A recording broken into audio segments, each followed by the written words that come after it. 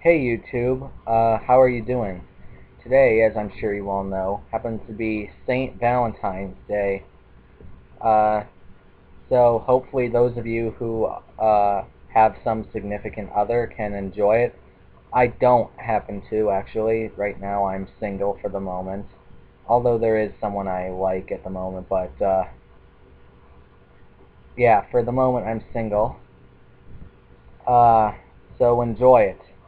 Now, of course, this video would be very boring if I just wished you a happy St. Valentine's Day and did absolutely nothing else, so a little history lesson for you.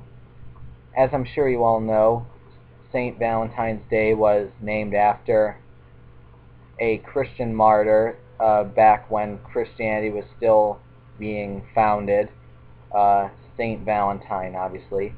What I'll bet you didn't know was that there was way more than one martyr named St. Valentine.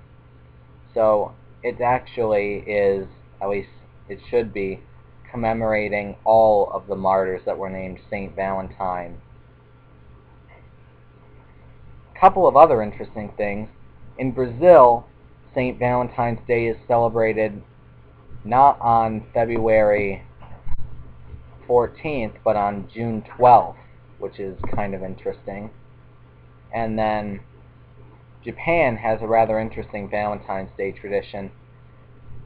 In Japan, on Valentine's Day, the females are supposed to give chocolates, heart-shaped chocolates basically, to guys they like.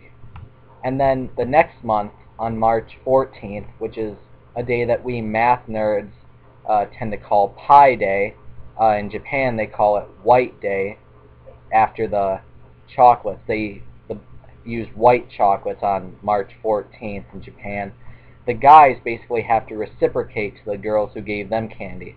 And I think they have to give them something that's either, I think it's three times as valuable as what the females gave them one month prior to that. So yeah, that's just some interesting thing. Um, yeah, I guess that's it. Bye.